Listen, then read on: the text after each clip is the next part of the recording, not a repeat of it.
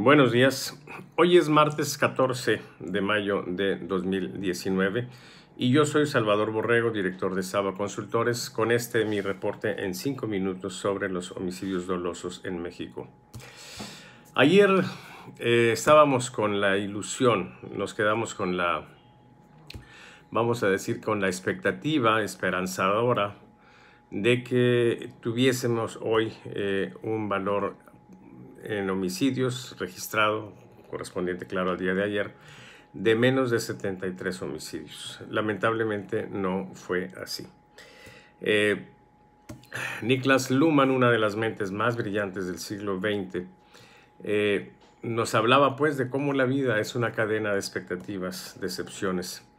Y bueno, creo que es justamente lo que, lo que en este momento eh, yo paso y supongo que al ustedes conocerlo también, pues eh, eh, también esa expectativa que se generó ayer eh, se habrá de convertir en decepción.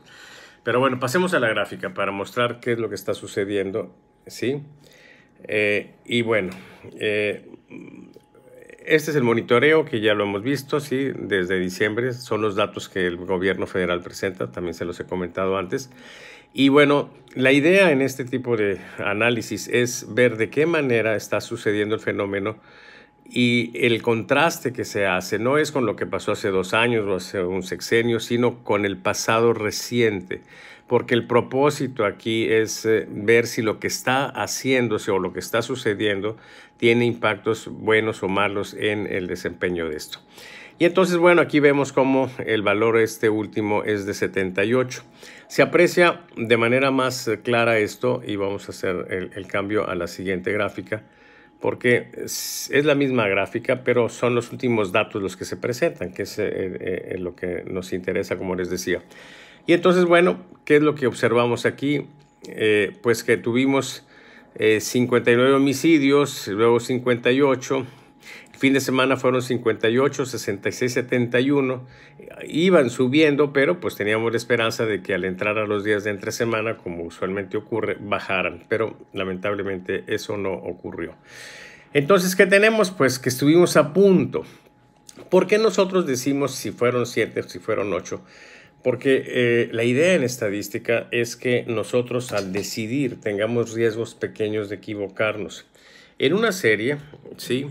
Eh, en un esquema de, diagrama de control donde se resumen las dos formas básicas que son prueba de hipótesis eh, y eh, estimación para tomar decisiones. aquí, por ejemplo, podemos ilustrar una prueba de hipótesis rapidito. Vamos a suponer que no está pasando nada y entonces pudiera haber más o pudiera haber menos y que fuera la misma probabilidad. ¿Por qué esperamos hasta 8? Porque que salgan ocho de manera consecutiva eh, en dos eventos que tienen la misma posibilidad es, muy pequeña, es menos de 0.05. Eh, que salgan siete, pues es un poco mayor del riesgo que es razonable correr. Eh, hagan una, una prueba, hagan un juego, tomen una moneda y láncenla a ver si le salen ocho veces águila o incluso ocho veces sol, puede ser, ¿sí? Eh, van a ver que es muy difícil, ¿sí? Y entonces eh, es justamente de lo que se trata al decidir en estadística, que los riesgos que tenemos de equivocar no sean, no sean muy grandes, que sean menores que 0.05, o sea, equivocarnos una cada 20 veces más o menos, ¿sí? Entonces, bueno, Lamento informarles esto, me habría gustado mucho decirles que ya teníamos una serie. Eh, no deja, sin embargo, esto de ser un signo alentador, o sea, eh, por lo menos lo que podemos afirmar es que no están al alza los homicidios, como se ha afirmado tanto. Claro, tenemos de nuevo aquí cuatro puntos que van para arriba. Hay que esperar a que sean ocho para estar ciertos de que efectivamente va subiendo. Entonces, ¿qué es lo que tenemos? Bueno, pues sí, una decepción. ¿sí? Un eslabón más en esta cadena de expectativas, decepciones. Y bueno, veremos qué sucede mañana. ¿sí? Por lo pronto, eso es lo que tenemos. Eh, yo eh, les eh, comento, como siempre también, que si este video les gustó, pónganme el like, por favor. Y si pueden compartirlo entre sus amistades, háganlo, ¿sí? Lo que yo hago no le gusta a los medios masivos de comunicación, ¿sí? Y, esto jamás se va a difundir, no me van a ver en una entrevista, es muy difícil que vean una entrevista.